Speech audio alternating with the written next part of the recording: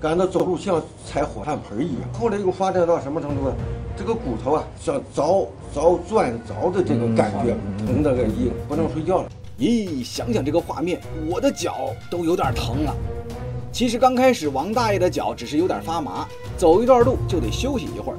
慢慢的是从脚底到腿一起麻，就算不停的活动也很难缓解。后来才发展到像钻凿一样疼。家里人带他去医院做了检查，发现是糖尿病导致的。哎，小编有个疑问，这脚麻咋跟糖尿病扯上关系了呢？呃，这个麻木来讲的话啊，是糖尿病的一个常见的一个并发症。那么它的这个特点呢，主要是什么呢？就是我们整个的双下肢，尤其是从远端开始，从脚然后开始。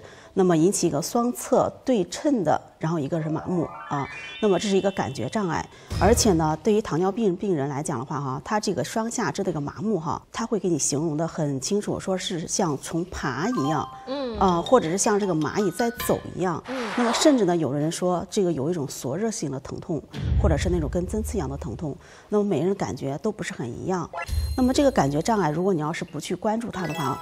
晚期的会造成一些更严重的问题。那像呃正常的麻木跟病变引起的麻木相比的话，有什么不同的地方呢？这个呢，一般是因为我们的血管受压或者是神经受压，然后造成的。